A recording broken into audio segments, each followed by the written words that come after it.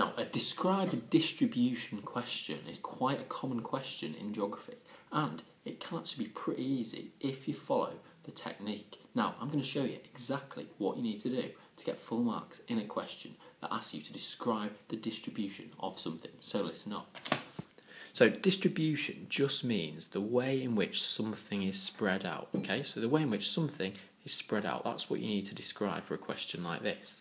Okay, now I'm going to use an example of deserts across the world. So describing the distribution of deserts across the world.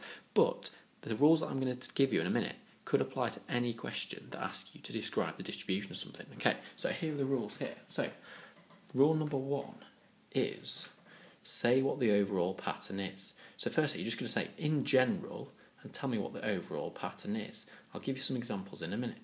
Second one, pick out some general examples. So that might be continents. You might pick out a few continents where it fits in with the pattern.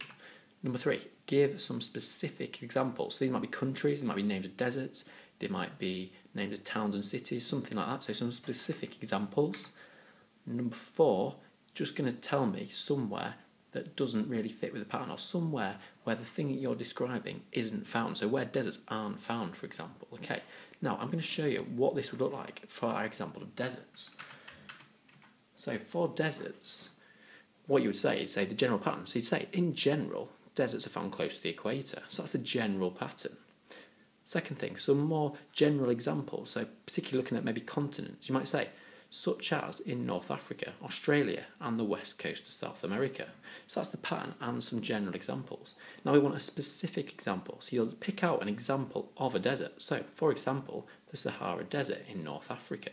And that's the majority of the question done. Last thing to put is somewhere that doesn't really fit with the pattern, or somewhere where deserts, for example, aren't located. So you might just add on to the end. There are no deserts in Western Europe. And overall, your answer would look like this, and this would be full marks.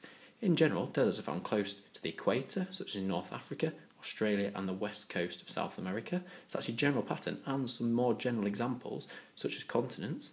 Then I'm going to pick out a specific example. So, for example, the Sahara Desert found in North Africa.